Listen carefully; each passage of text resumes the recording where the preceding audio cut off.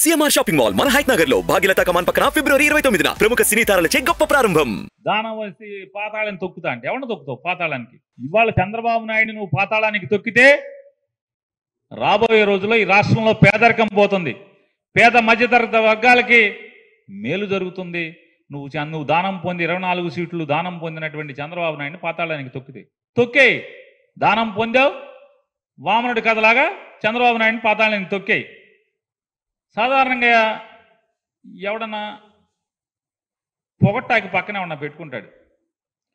లేదా ఇద్దరు కలిసి ఉన్నారు కాబట్టి పవన్ కళ్యాణ్ని చ- చంద్రబాబు పొగడాలి చంద్రబాబుని పవన్ కళ్యాణ్ పొగడాలి. చంద్రబాబు ఒక్కటంటే ఒక్క మాట పవన్ కళ్యాణ్ గురించి మాట్లాడాల.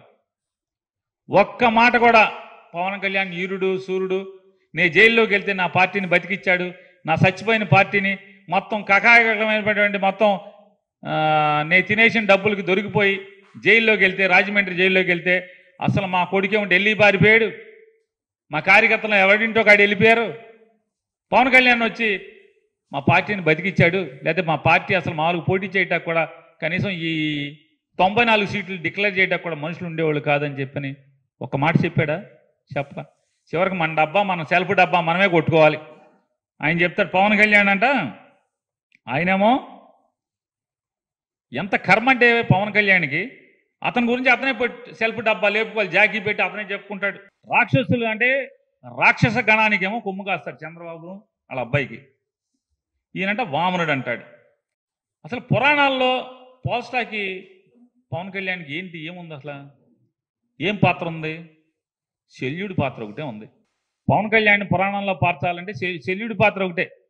కాపుల్ని ఇతని మీద విపరీతమైనటువంటి అంటే మాకు కూడా ముఖ్యమంత్రి ఉంటే బాగుంటుంది కదా.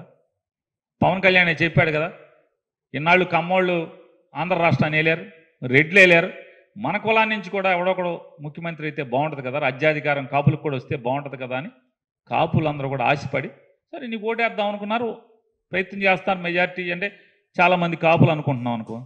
కానీ ఏం చేస్తున్నావు? వాళ్ళందరినీ జెండా మోసే కార్యకర్తలందరూ కూడా నువ్వు కనపడితే చాలు పాపం మొన్నటిదాకా ఆ మధ్య దాకా ఇప్పుడు ఒక సంవత్సరం క్రితం వరకు సీఎం సీఎం సీఎం అని అరుస్తూ ఉండేవాళ్ళు పాపం అమాయకత్వంతో. పవన్ కళ్యాణ్ తరఫున మేము పోటీ చేస్తామని చాలామంది పరిగెట్టుకు వస్తూ ఉండేవాళ్ళు. కాపులు ఎక్కువగా ఉన్న చోట ఎక్కడైతే కాపులు ఎక్కువగా ఉన్న ఓట్లు ఉన్న చోట అక్కడ ఎవడొకడు మేము మేము పోటీ చేస్తాం మేము పోటీ చేస్తాం అని చెప్పని. ఏం చెప్తాం మీరు? మనకు బలం లేదురా. బూత్ కమిటీలు లేవురా. గ్రామ కమిటీలు లేవురా. మనం ఎవడు నేను పోటీ చేసి ఓడిపోయామరా మనం? మీరు గెలిపించలేరురా.